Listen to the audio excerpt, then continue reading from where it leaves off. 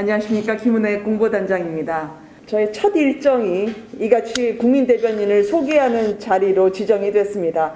아무래도 더 멀리 더 높은 곳을 바라보지 말고 우리 국민들이 계신 그 현장에서 생생한 목소리로 정권 교체를 준비하라는 준엄한 명령이자 그리고 지침으로 이해합니다. 원래 국민 대변인단이요 각계각층에서 그 삶의 현장에서 체감하고 또 경험했던 정권 교체에서의 목소리들을 전해주고 계시는데요. 정병철님, 이 30대 다자녀 가장이신데 첫 논평을 해주셨고 의료봉사로 대한민국 의료 발전에 기여했던 송준섭 국민대변인 논평이 뒤를 이었습니다. 다음으로는 판소리 명창이신 김인숙 국민대변인이 소리로 논평을 발표해 주셨죠. 워낙 많은 분들이 자신만의 역량으로 그리고 자신만의 독특한 스토리를 기반으로 해서 국민 여러분들께 더욱 새로운 정치, 새로운 대한민국을 만드는 견인차 역할을 해 주셨습니다. 오늘 논평을 발표하게 될 최예나 국민대변인을 소개합니다.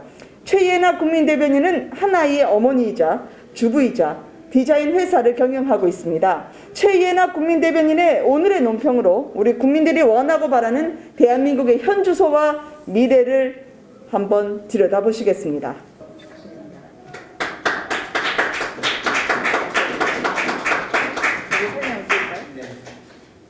저는 아들을 둔 엄마로서 대한민국의 미래에 많은 관심을 갖고 성실히 살고 있습니다.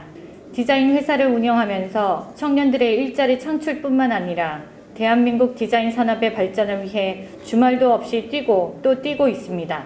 저는 10년 전만 해도 캐나다에 사는 재외 국민이었습니다. 그런 제가 한국으로 돌아온 이유는 최선을 다해 일하는 만큼의 기회가 있고 미래가 주어지는 환경이 있었기 때문입니다. 그러나 제가 지금 겪고 있는 대한민국 현 주소는 성장과 발전을 위해 노력할 필요 없이 적당히 살아가도 된다는 생각을 주입해주고 있습니다. 문재인 정부는 부동산 정책을 망쳐놓고 집값과 물가는 엄청나게 올려놓아 서민들에게 상대적 박탈감만 주고 있습니다. 있는 자만 더 누릴 수 있고 미래가 두려운 청년들은 주식, 코인, 묻지마 투자에 빠져들고 있습니다.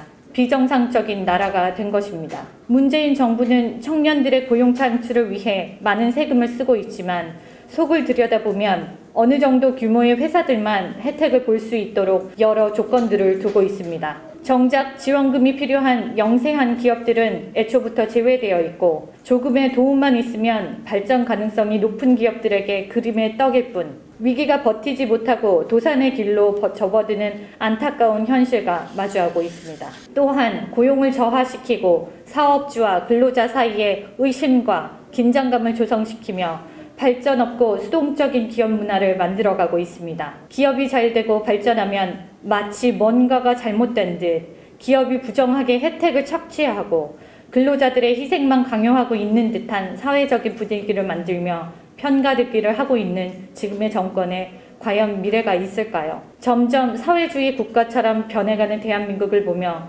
제가 10년 전 부푼 꿈을 안고 한국에 온 것을 후회하고 있습니다. 저를 비롯한 많은 여성 기업인들은 지금의 정권이 또다시 유지된다면 차라리 사업을 접고 근로자가 되는 게 낫다는 생각을 수없이 많이 하고 있습니다. 배우자 유급 출산 휴가를 확대하고 성범죄 처벌 수위 강화를 위해 전자팔찌 평생 착용을 의무화하고 한부모 가정 지원 강화 등 여성의 사회 진출을 돕고 돌봄 서비스를 확대하겠다는 윤석열 후보의 공약을 보았습니다. 미래가 있기 때문에 또 희망을 기대하며 아이를 키우고 열심히 전진하고 싶습니다. 지금의 대한민국은 위기입니다. 표퓰리즘 정권에서 벗어나 열심히 일한 만큼 보상을 받을 수 있는 나라, 아이들에게 밝은 미래가 있는 나라를 만들어 주시기 바랍니다. 비정상적인 나라, 힘들어진 삶에서 지금보다는 나은 세상을 만들어 주기를 바랍니다. 감사합니다.